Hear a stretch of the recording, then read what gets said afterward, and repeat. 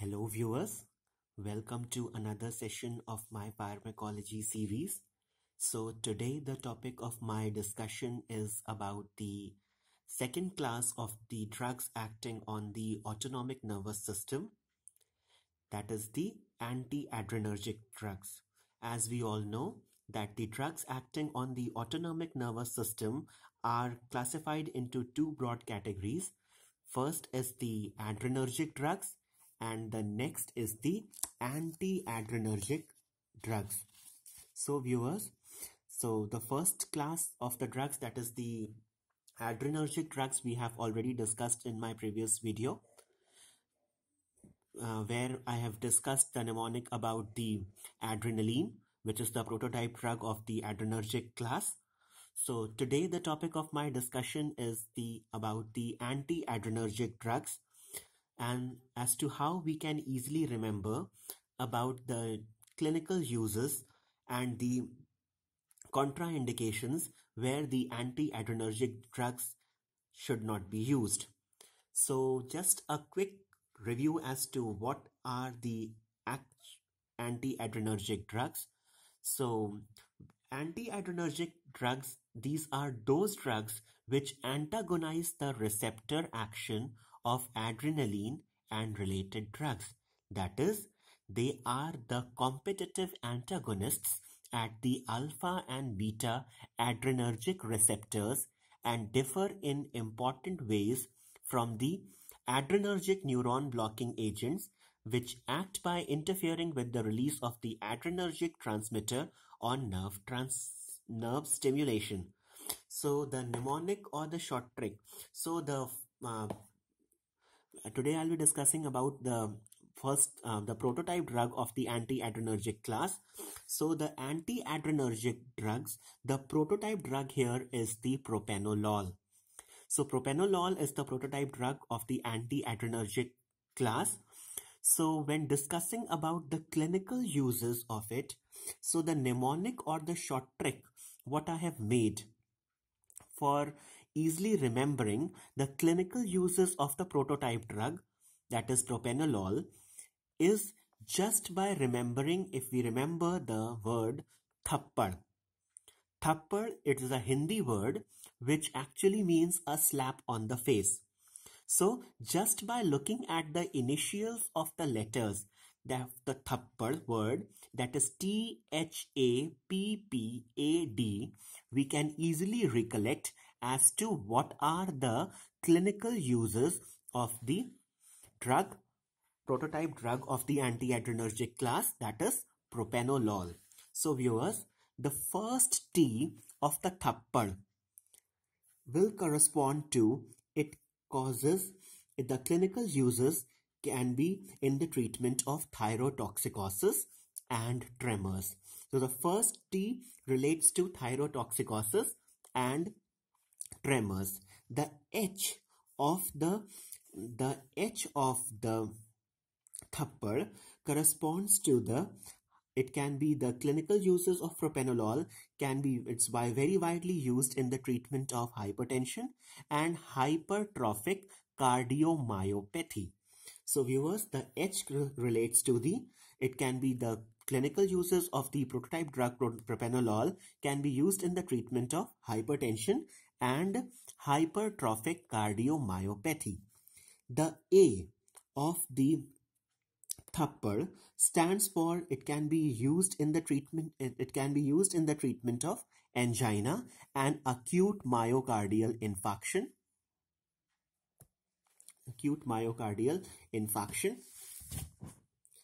Next the p the first P of the thappad corresponds to prophylaxis of migraine. So, propanolol, which is the prototype drug of the anti-adrenergic class, corresponds to the first P relates to the it can be used in the treatment or the prophylaxis of migraine. The second P of the thappad, the second P of the thappad corresponds to the pheochrome, pheocytochroma along with the alpha blockers. The A of the thappad corresponds to the relates to the anxiety and the arrhythmias and the D of the thappad relates to the dissecting aortic aneurysm and digitalis toxicity.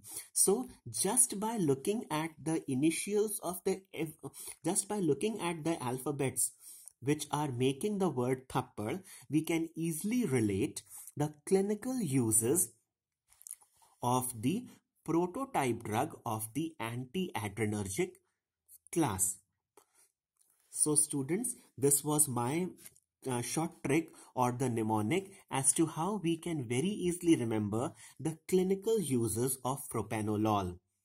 So just looking at a shorter review or a quick look as to uh, about the clinical uses we just uh, will be looking at short we'll be quickly looking at the propranolol is basically contraindicated which in what conditions? So in propranolol including other beta blockers are contraindicated in so the mnemonic or the short trick what i have made over here is don't prescribe him propranolol where every initial alphabet that is of don't d the p prescribe of p the h of him and p of propranolol will correspond to one of the contraindications of propranolol. So the contraindications of propranolol can be better remembered if we just look at the initials of the statement, don't prescribe him propranolol. So where every initial alphabet of don't prescribe him propranolol will correspond to one of the contraindications where propanolol is not to be used. So viewers,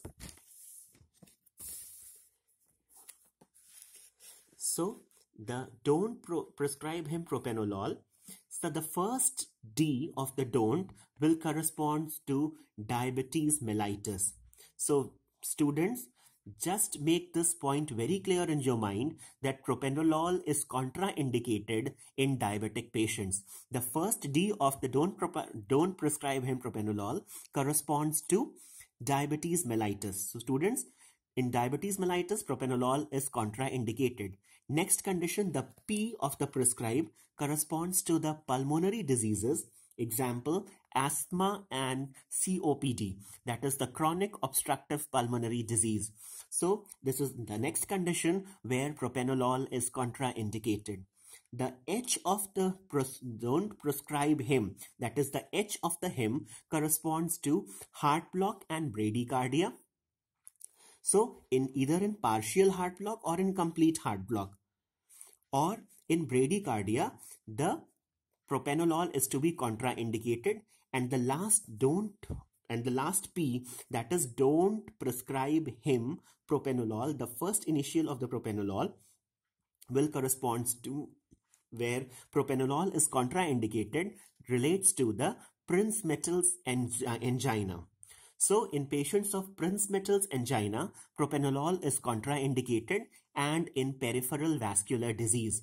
So viewers, this was my mnemonic or the short trick as to how we can very easily recollect, as to how we can very easily remember the contraindications of propranolol just by looking at the initials of don't prescribe him propranolol.